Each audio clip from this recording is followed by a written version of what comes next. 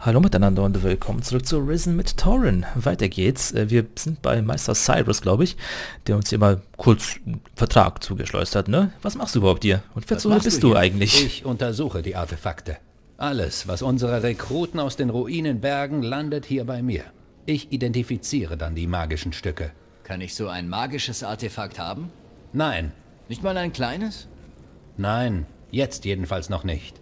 Wir reden später darüber. Okay. Was ist denn die ganzen Kisten? Was ist in den ganzen Kisten? Das meiste ist alter Schrott. Silber und Goldschmuck, nichts von Bedeutung. Nur die wenigsten Stücke besitzen magische Eigenschaften. Kann ich was von diesem nutzlosen Silber- oder Goldzeug haben? Kann ich was von diesem nutzlosen Silber- und Goldzeug haben? Nein, die Schätze gehören dem Orden. Obgleich sie im Moment nutzlos für uns sind, können sie später hilfreich sein, unsere Organisation auszubauen. Mist. Okay, können wir wenigstens handeln. Können wir wenigstens handeln? Beende zunächst deine Prüfungen, dann können wir handeln. Bist du sicher, dass ihr mir die Artefakte einfach so geben Bist du kann? sicher, dass er mir die Artefakte einfach so anvertraut? Gibt es denn einen Grund, warum er das nicht tun sollte? Ich will nur sicher gehen. Du meinst, ich sollte dir jetzt irgendein Losungswort sagen, das du ihm aufsagen kannst? Sowas wie schwarzer Schirrling, Cyrus schickt mich oder Tedrian doch. Ja, Tetrian Wäre doch. eine Möglichkeit. Falls er dir nicht vertraut, sage ihm, ich reiße dir den Kopf ab, wenn du ohne seine Artefakte zurückkommst. In Ordnung? Gut. Ich denke, das reicht. Ja, wunderbar. Oh, Buchständer. Interessant. Lagerraumschlüssel.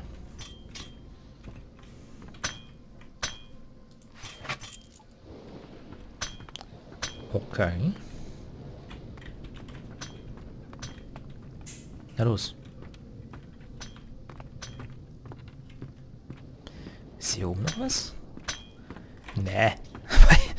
Gut, ich meine, Lagerraumschlüssel war doch der Schlüssel für den... für den Lagerraum den wir eh schon leer gemacht haben. Das sieht eigentlich gesagt aus, aus wie eine Fake-Wand, wenn du mich fragst. Aber, naja, egal. So. Gehen wir mal unauffällig wieder raus hier. Gibt es hier noch irgendwie mehr davon? Also, es kann doch nicht sein, dass das hier einfach nur so ein Ring im Dings steckt. Da weigere ich mich dann zu... Das ist der Ring, oder?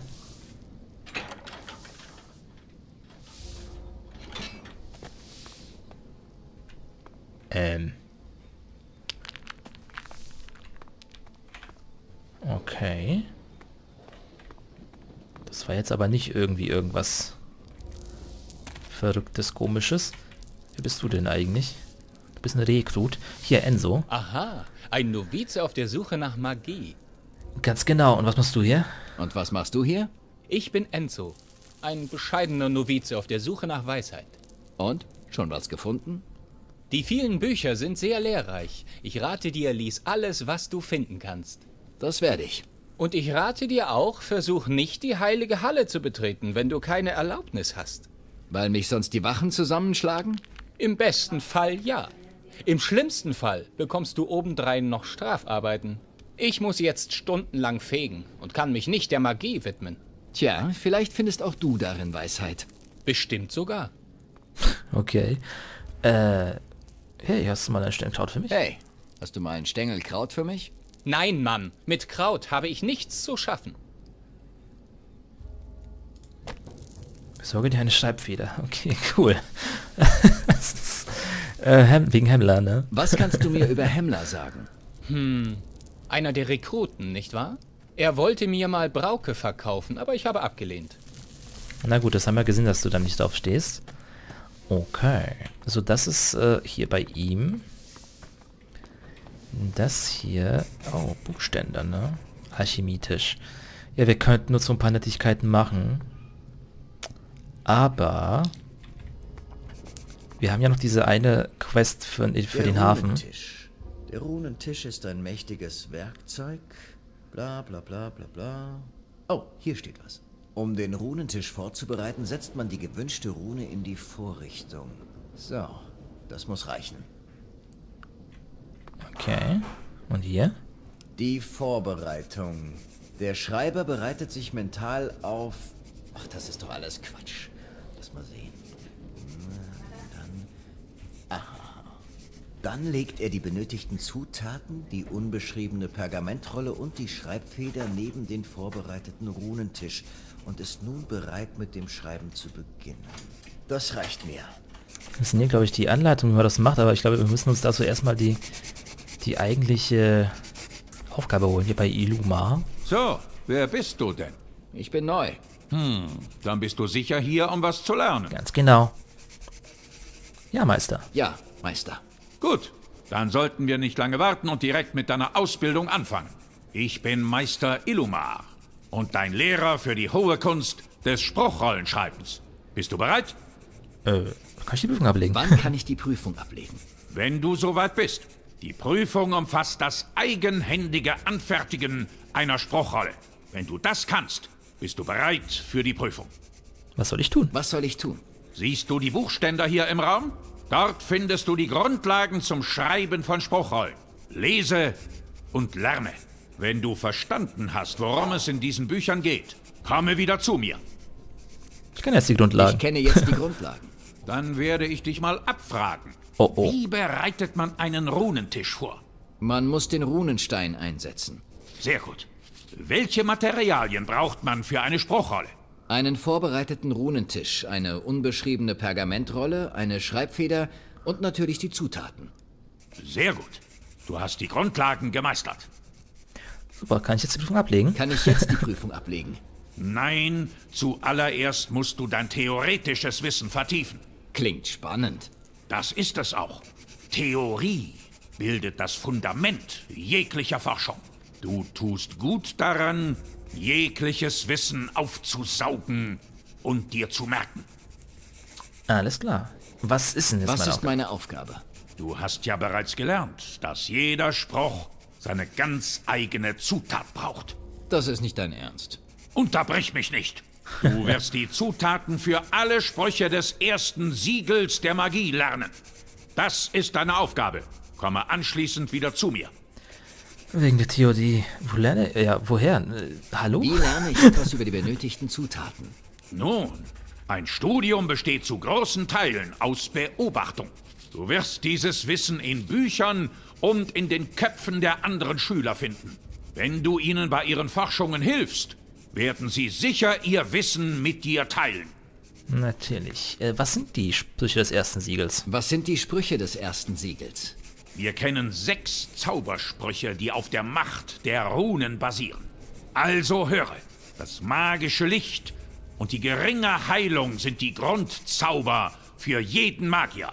Die Telekinese und die Verwandlung in die Nautilus sind die mächtigsten Sprüche. Und dann gibt es noch die Illusion und den Witz. Sagtest du Witz? Ja, es ist ein Zauberspruch. Die genaue Wirkung der Zauber wirst du noch kennenlernen. Jetzt ist es Zeit, die benötigten Komponenten zu lernen. Okay. Also gut, dann äh, sagen wir mal hier die Jungs, ne? Jarvis. Hi, ich bin Jarvis, Rekrut der Inquisition. Ich schätze, du bist nicht freiwillig hier. Da hast du wohl recht. Zwangsrekrutiert, auf Anordnung des Inquisitors. Okay. Äh, wieso bist du rekrutiert worden? Wieso bist du rekrutiert worden? Ich habe zusammen mit Cole Wölfe gejagt, als eine Patrouille der Weißen vorbeikam. Er konnte noch abhauen, aber mich haben sie gekriegt. Du bist Jäger? Ja, aber ob ich mit dem Bogen umgehen kann oder nicht, das interessiert hier keinen. Stabkampf soll ich lernen und Magie. Gut, dann versuche ich das halt. Warum nicht, wa? Kannst du mir was beibringen? Kannst du mir was beibringen? Ich weiß nicht, ob den Meistern das gefallen wird. Ach Quatsch, das interessiert niemanden. Aber ich muss diese Spruchrollen verstehen. Vielleicht kann ich dir dabei helfen. Das wäre gut. Weißt du, es würde mir schon reichen, wenn du mir ein paar Sachen besorgst, damit ich hier weiterkomme. Was brauchst du? Nicht viel. Eine Spruchrolle der Illusion und zwei leere Pergamentrollen. Und dafür bringst du mir bei, was du weißt. Ja, alles, was ich übers Bogenschießen, Schleichen und die Jagd weiß. Okay, ich brauche die Zutaten für die Spiele des ersten Siegels. Ich brauche ne? die Zutaten für alle Sprüche des ersten Siegels. Oh Mann, diese Informationen werden besser gehütet als die Spruchrollen selbst. Ich kenne nur die Zutat für den Zauber Licht. Was brauche ich für den Zauber Licht? Du brauchst ein paar Goldstücke. Ist das dein Ernst? Goldstücke? So steht's geschrieben. Ich habe es nur durch Zufall in einem Buch entdeckt. Wenn du alle Zutaten rausfinden willst, kann das ganz schön lange dauern. Ich kann dir nur raten, frage die anderen Novizen und lies jedes Buch, das du finden kannst. Das werde ich mir merken. Danke. Kann ich dir helfen? Kann ich dir helfen? Ich beschäftige mich noch mit den Grundlagen der Spruchrollenschreiberei. Versuch's mal mit den Buchständern in der Schule. Danke, werde ich tun. Okay, cool. Aber das Von hier magischen ist... Spruchrollen verstehe ich nichts. So, Hi, Erlan. ich bin Erlan. Haben sie dich auch erwischt? Oder bist du freiwillig hier? Äh, ich habe mich, glaube ich, gemeldet, Ich ja. habe mich freiwillig gemeldet. Gute Entscheidung. Das hätte ich damals auch tun sollen. Was meinst du? Ich habe mich natürlich erstmal versteckt. Sie haben mich dann aber doch gekriegt. Als ich dann hier war, habe ich erkannt, dass das alles halb so schlimm ist. Der Orden sorgt für uns und bildet uns sogar aus. Wahrscheinlich ist der Orden das Beste, was mir passieren konnte. Okay. Was ist deine... Oh. Kannst du einen guten Witz? Das ist zu riskant. Oh, okay. Was deine ist deine Aufgabe? Aufgabe? Ich versuche als Krieger in den Orden aufgenommen zu werden. Ich will Magier werden. Dann steckst du wahrscheinlich auch mitten in den Prüfungen. Ich komme mit Ilomars Prüfung einfach nicht weiter. Du weißt nicht zufällig, welche Zutat man für eine Spruchrolle Nautilus braucht? Nein. Wenn du es rausfindest, sag mir Bescheid. Vielleicht können wir ja unser Wissen teilen.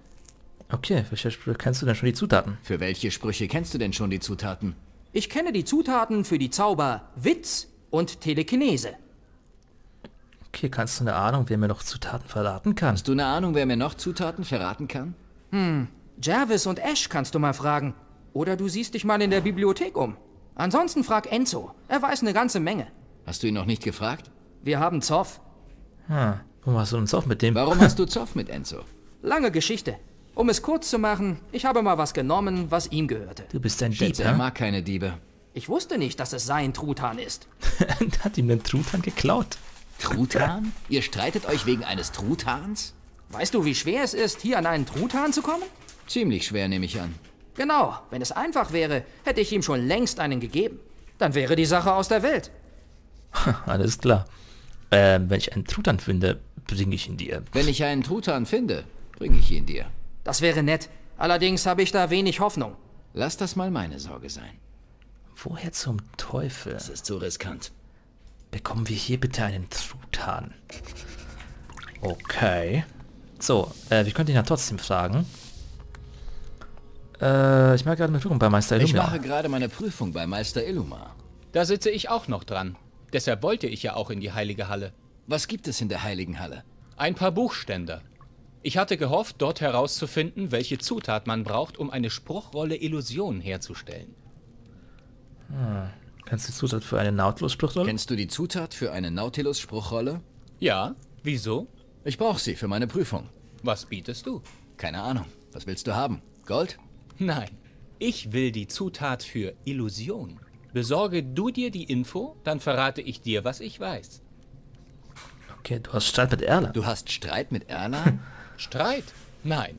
Ich habe ihn beim Klauen erwischt. Mit Dieben will ich nichts zu tun haben.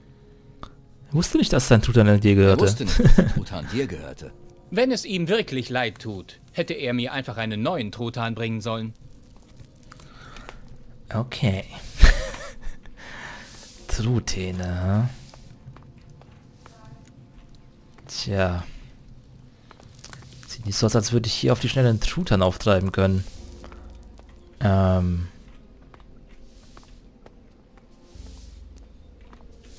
Das da hinten ist... Ich darf hier gar nicht hin, oder? Ignatius? Ach, darunter geht's noch. Ignatius. Ich bin Meister Ignatius. How? Deine Grundausbildung hast du nun hinter dir. Yep. Aber Großes liegt noch vor dir. Du willst mich prüfen? Ich will, dass du lernst. Unsere Prüfungen helfen dir nur dabei. Komm, ich will dir etwas zeigen. Okay, Boy. Also, was geht ab? Yo, Bro. Okay, bist wohl eher der stille Typ, hä? Ja, Ja, gut, gut. Was so? Das ist nochmal... Ah, das ist ein zweites Stockwerk, hä? Hier schlafen wohl die ganzen Magier. Na gut. Da sollten wir uns umschauen, wenn ihr versteht, was ich meine. So, das ist hier was? Die Bibliothek, vermutlich. Was hast du mit mir vor? Das hier, das ist die Bibliothek. Hier wirst du lernen. Weisheit findet sich in Büchern und alten Steintafeln. Welch ein Ort wäre wohl besser zum Lernen geeignet als eine Bibliothek? Ich erwarte von dir, dass du alle Bücher liest. Wenn du glaubst, bereit zu sein, sprechen wir weiter. Okay. Alter Buchständer. Hier. Aha. Über Spruchrollen und Zutaten. Aha. Um Telekinese auf eine Spruchrolle zu schreiben, braucht man etwas Flügelstaub. So, wir speichern mal kurz, weil hier ist nämlich noch eine Schatztruhe. Und nochmal von vorne. Okay, und nochmal. Der Dietrich Oh ist Gott. abgebrochen. Geht Oh, okay, cool. Die Illusion Du erschaffen. Ah, diebische Ratte, ich mach dich fertig! was? Was? Was ist los mit dir, Rufus? Hier, Dummköpfe. Oh, du bist ein Westmann. Ich kann dich gar nicht töten. Das ist natürlich schlecht. Dann laden wir lieber nochmal neu. Okay, okay. So. Jetzt aber ganz schnell hier. Du diebische Ratte, ich Was? mach dich fertig! Ach, der ist gerade hier reingelaufen, der Typ. Deswegen. Ich hoffe, du lernst was daraus. Ja, ja, ja. Klar lerne ich was daraus. Ich lerne daraus, dass ich warten muss.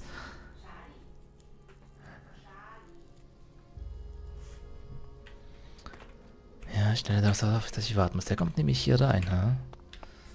Ja, ja. Ist schon klar. Wir lesen mal kurz hier. Interessant. Na los, Junge. Gehe weiter. Wir speichern mal. Und das hinter deinem Rücken war.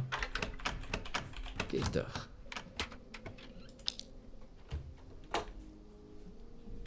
Na? Jetzt kommst du aber nicht mehr so schlau vor, hä? Okay, das kann ich nicht lesen. Ich würde gerne an diesen Buchständer. Hi, Novize, Äh, was machst du hier? was machst du hier?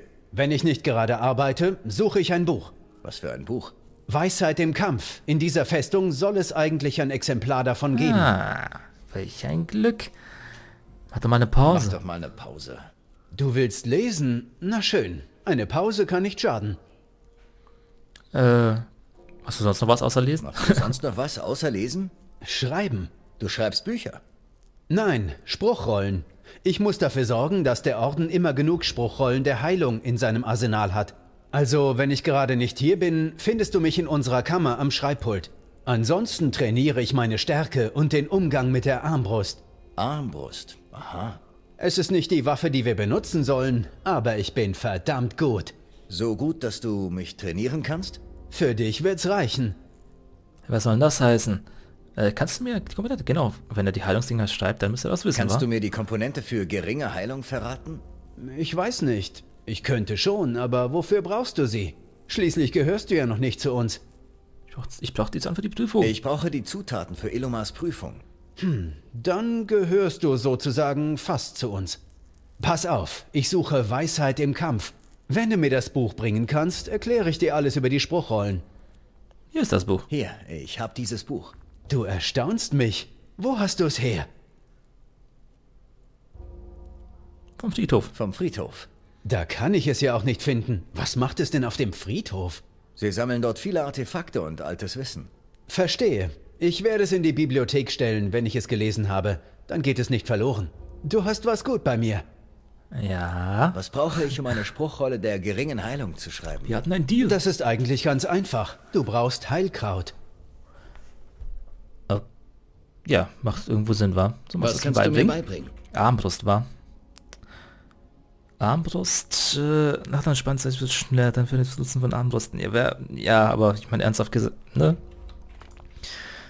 Ob uns das was bringt? Der Text handelt von magischen Sprüchen. Sehr viel Weisheit, so. Ringe. Und ein weiterer Zugang öffnet sich. Wohin mag der führen? Automatisches Speichern. Okay. Irgendein verlassener Bibliotheksflügel, war? Geschafft. Ui.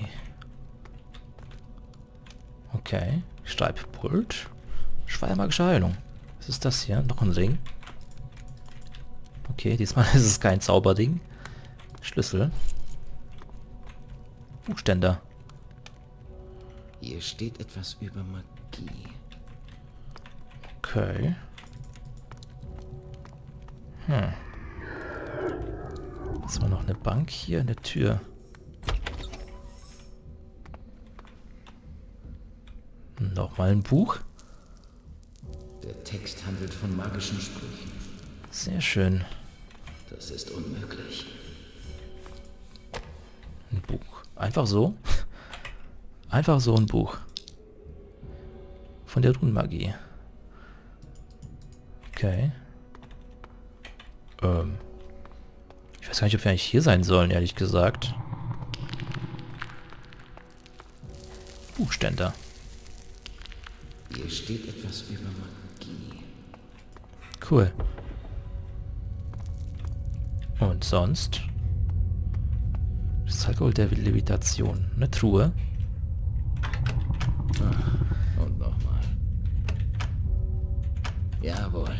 Ja, wer, denn, wer soll denn, wer soll denn da drauf kommen? Magischer Schutz. Also hier kann man gleich mal lesen. Das ist die Kunst des Levitierens. Der Magier versetzt sich in einen Zustand der Schwebe. Er bewegt sich nur mit der Kraft des Geistes, solange er sich konzentriert. Auch Höhen lassen sich so überwinden. Allerdings erfordert dies mehr Konzentration. Okay. So heißt es, wir können da wahrscheinlich runter levitieren. So, was ist hier? Alchemitisch. Ansonsten nichts, oder? Hm. Okay. Geh mal hier rüber. So, was gibt's denn hier nettes? Eine Truhe erstmal. Nochmal von vorn. Äh, ist es diesmal vielleicht? Nochmal Nein. von vorne. Ah, und nochmal. Zack, zack. Zack, zack. Geschafft. So. Zum Glück haben wir so viele Dietriche, eine ganze Menge Spruchrollen. So, noch ein Buch über Telekinese. Ah. Telekinese. Hm. Die Kraft der Gedanken bewegt Materie. Um Gegenstände aus großer Entfernung zum Magier hinzubewegen. Gut. Auch Schalter und Hebel, die weit entfernt sind, lassen sich auf diese Weise betätigen. Sehr interessant. Sehr coole Sache auf jeden Fall. Was ist das hier? Ja, Telekinese. Ah.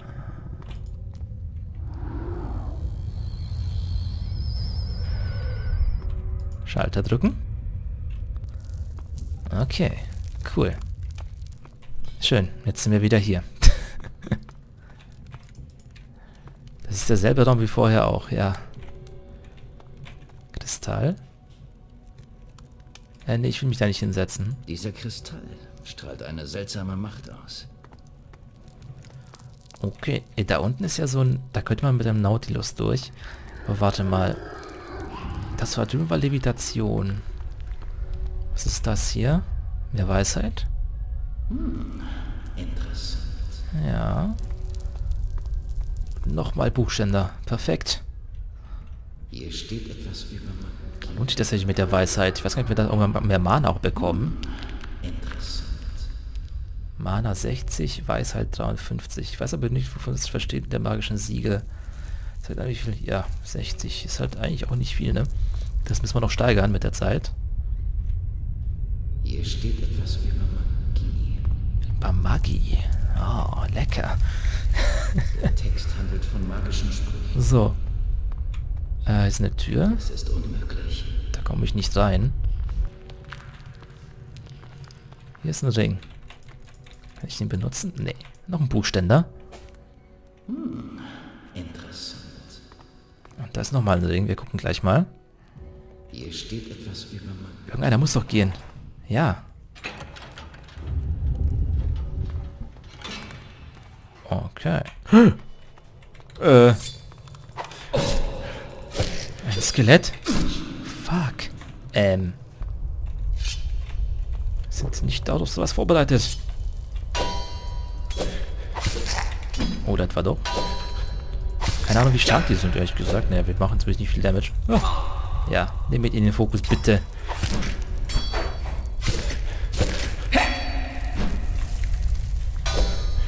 Ja, so stark scheint es nicht zu... Äh, jetzt, naja.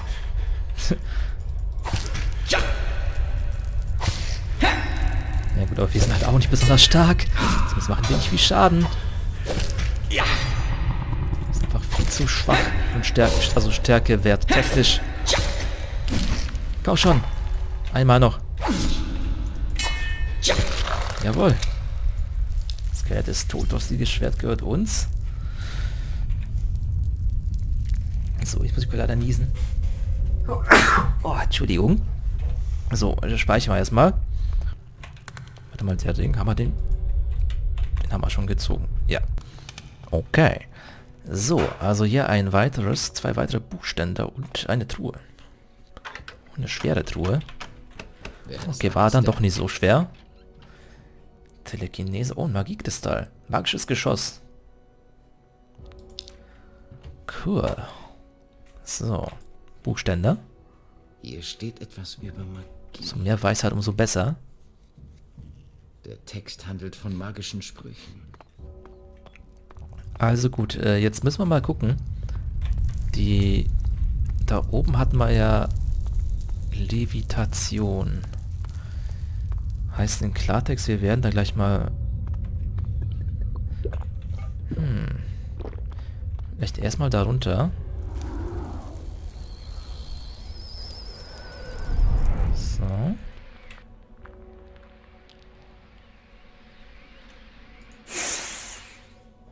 Gut. Äh. Ernsthaft jetzt? Nee.